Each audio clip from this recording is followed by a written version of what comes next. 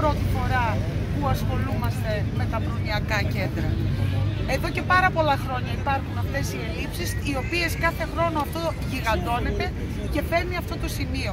Και εγώ θα σας καλέσω να σκεφτείτε όταν ένα κράτος για το πιο ευάλωτο κομμάτι του πληθυσμού που είναι αυτοί οι άνθρωποι που νοσηλεύονται, δηλαδή ανοικοί, παραπληγικοί, παιδιά τα οποία είναι με νοητική στέρηση, έχει τε τόσο σκληρό πρόσωπο που ουσιαστικά αυτά τα ιδρύματα πλέον έχουν γίνει αποθήκες ψυχών. Σκεφτείτε πώς βλέπει όλους τους υπόλοιπους και γενικά πώς βλέπει τον τομέα της υγείας και της πρόνοιας.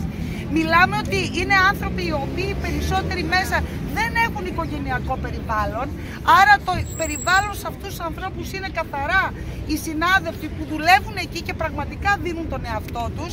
Λοιπόν, αυτούς τους συναδέρφους που υπάρχει συναισθηματική πλέον δέσιμο με τους ασθενείς, έρχονται και μπαίνουν σε μια λογική ότι κάθε λίγο και λιγάκι πρέπει να αλλάζουν και από την άλλη λείπουν βασικές ειδικότητες γιατί δεν έχει να κάνει μόνο το ότι σε καθαρίζω ή σου δίνω τα φάρμακά σου, χρειάζεται να υπάρχει εργοθεραπεία, κοινωνική λειτουργία, χρειάζεται να υπάρχουν φυσιοθεραπευτές, αλλά για αυτούς όλα αυτά είναι ψηλά γράμματα.